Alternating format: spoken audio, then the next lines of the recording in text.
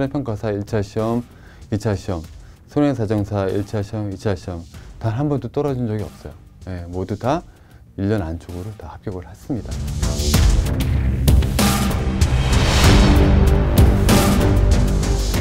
네, 안녕하십니까.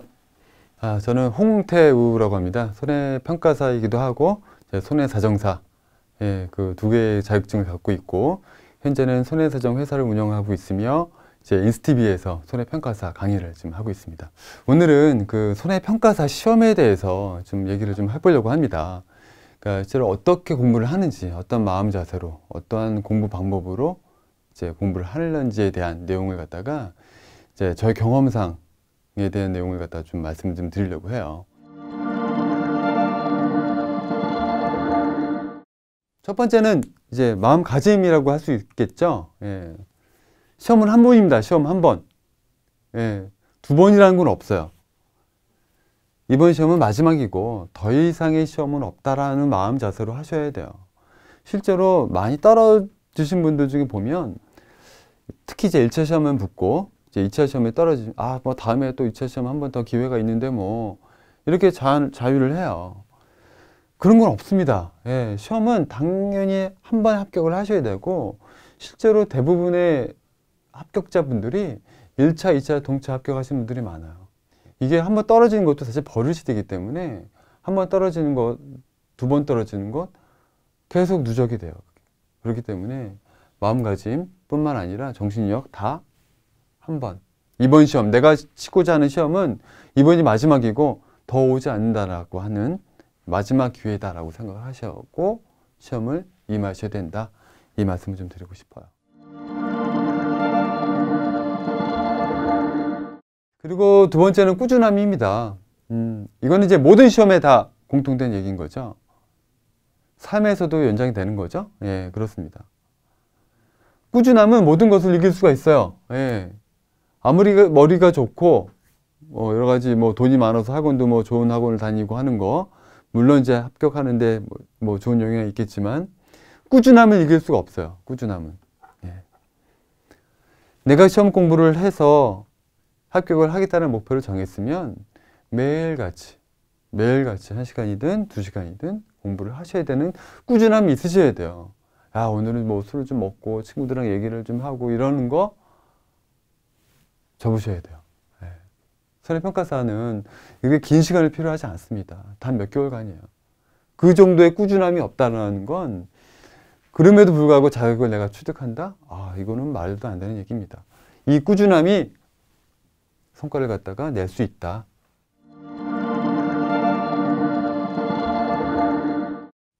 과식을 하게 되면 시험 공부를 하는 데 있어서 밥을 좀 많이 먹잖아요. 예, 모든 에너지가 다 배로 갑니다. 소화시키기 위해서 머리가 졸리기도 하고 잘 돌아가지도 않고 예, 절대적으로 소식만 하세요. 절대적으로 술, 담배 물론 건강에 좋지 않고 하는 거기 때문에 권하지 않지만 왜 시험 공부를 할 때 술, 담배를 하지 말아야 되느냐 기억력이 감퇴가 되고 한 시간을 똑같은 공부를 했어도 술, 담배를 하는 사람과 하지 않는 사람의 이 저장 능력은 큰 차이가 나요. 술, 담배.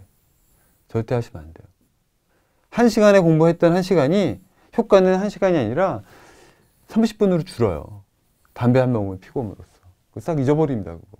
네. 그 대신 이거는 제가 권해드려요. 차하고 커피. 이게 왜 그러느냐. 그런 말이 있습니다. 인류를 이만큼 성장한 게 차하고 커피 덕분이다. 라는 말이 있어요. 과학적으로도 물론 그런 게 차하고 커피를 마시면 사람이 정신이 굉장히 맑아져요. 네, 그래서 모든 정보가 머릿속에 들어오면서 이게 축적이 되고 이해력도 빨라지고 굉장히 머리를 쓰는 데 있어서는 차만큼 좋은 게 없어요. 네. 옛날에 뭐 사실 중국이나 뭐 영국이나 이런 나라들이 굉장히 옛날에 많은 연구자들이나 학석, 어, 좋은 머리 좋은 사람들이 된게 차이다라는 말들도 있습니다.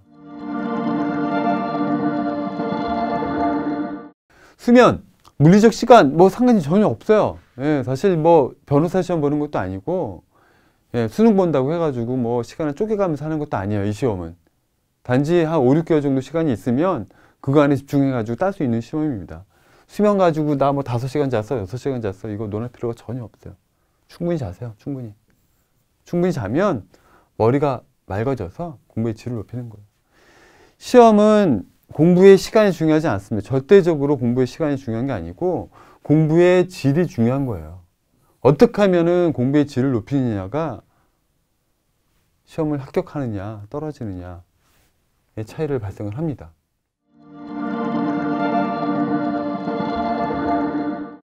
공부는 앉아서만 하는 게 아니에요. 예, 서서도 하고, 야, 뛰어다니면서도 공부하고, 심지어는 자면서도 공부를 하는 거예요. 예.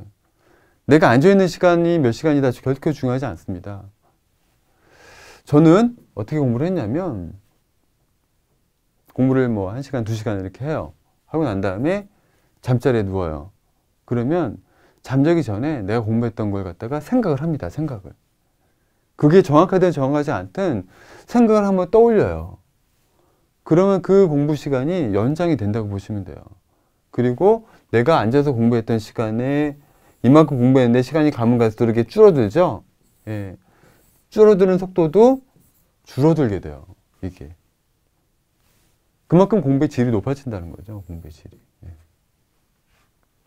그래서 뛰어다니면서 내가 전철 안에서도 물론 전철 안에서 책 보시는 분들도 계시지만 굳이 그럴 필요 없어요.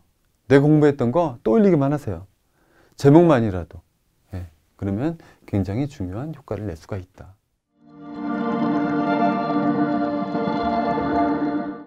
마지막 상상이에요. 예. 상상하셔야 돼요. 꿈은 이루어지죠. 내가 상상한 만큼 되는 거예요. 예. 실제로 합격한 거를 갖다가 뭐 친구들하고 술 마시는 거, 뭐 여러 가지 내가 하고 싶은 거 물론 많이 있을 거예요. 그런 생각하지 마시고 시험을 공부하시는 동안에는 내가 이 시험을 합격을 하면 과연 나한테 돌아오는 게 무엇인가? 어떤 주변 사람들의 칭찬인가? 아닌 금전적인 보상인가? 이런 것들을 갖다가 상상을 하는 거예요. 네. 그 상상만으로도 공부할 수 있는 힘이 배가 됩니다. 그래서 졸렸던 기분, 졸렸던 몸 상태, 공부하기 싫었던 어떤 기분, 이런 것들이 이 상상력으로 인해서 내가 합격함으로써 주어지는 어떠한 보상이나 이런 것들에 대한 상상으로 인해서 그런 것들이 없어져요. 더 공부를 할 수 있는 마음이 충전이 됩니다. 그래서 그게 꿈은 이루어진다는 얘기예요. 이런 것들이 다 된다면 서울평가사 시험을 하시는데 그렇게 어렵지 않은 시험이라고 저는 생각을 해요. 네. 그래서 오늘 말씀드렸던 키워드 몇 가지 가지고 서울평가사 시험 보시는 거에 있어서 네, 말씀을 드렸습니다. 네, 앞으로 공부 열심히 하셔가지고 꼭 합격을 하실 수 있도록 네, 희망하겠습니다. 네, 감사합니다.